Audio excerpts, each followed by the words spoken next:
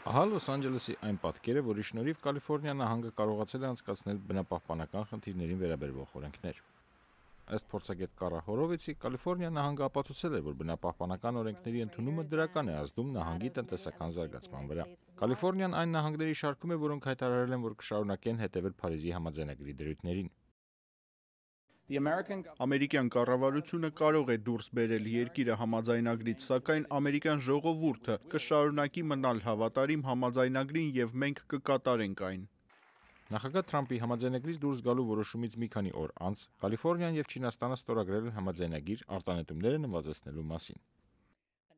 It's highly significant. Չափազանց կարևոր է, որ Կալիֆոռնիայի նահանգապետը կարող է հանդիպել Չինաստանի նախագահին, խոսել նրա հետ տարբեր խնդիրների մասին, ներառյալ կլիմայի փոփոխության մասին եւ որոշել որոշ քայլեր ձեռնարկել, որոնք անհրաժեշտ է էներգետիկ համակարգի փոփոխության գործընթացը շարունակելու համար։ Needed uh, to uh, further this process. Բնապահպանության հետ կապված օրենսդրությունը փոխկապակցված է նահանգային եւ տեղական օրենքների հետ։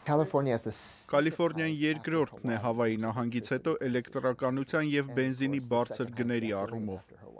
Շոն Հիատի կարծիքով Փարիզի համաձայնագրի կողմնակիցների հիմնական խնդիրը բավարար քանակությամբ նահանգներին համոզելն է, որ արտանետումների նվազեցման մեջ ներդրումներ անելը տնտեսապես շահավետ է ապագա սերունդների համար։ Արամ Ավետիսյան, Ամերիկայի ձայն Վաշինգտոն։